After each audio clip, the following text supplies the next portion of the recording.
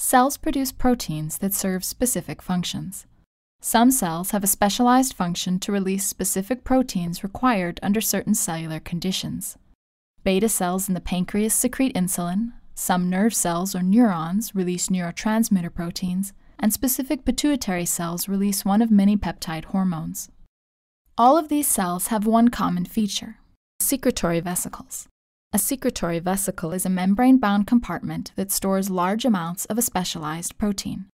Looking into a pancreatic beta cell, you will find secretory vesicles filled with insulin, while in a nerve cell, the secretory vesicle may be filled with serotonin or another neurotransmitter protein.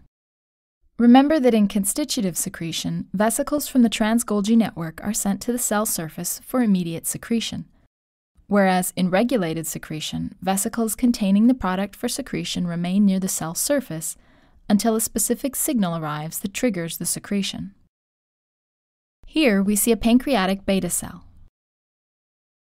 one of the cell types found in the pancreas. In these beta cells, the secretory vesicles are filled with insulin. As with many proteins, the insulin protein is processed in the Golgi apparatus and secreted in vesicles. Secretory vesicles are all derived from transport vesicles leaving the trans-Golgi network. In these specialized cells, vesicles containing the same cargo protein will fuse to form larger secretory vesicles. Vesicles containing insulin build up in the cell until a glucose signal enters the cell.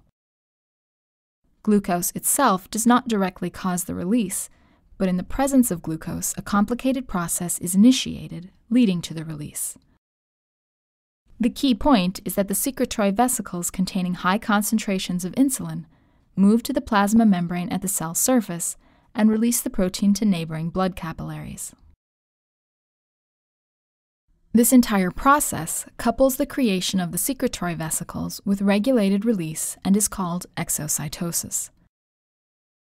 In this case, the released insulin in turn acts as a regulator that stimulates the release of glucose transporters in other cells via exocytosis.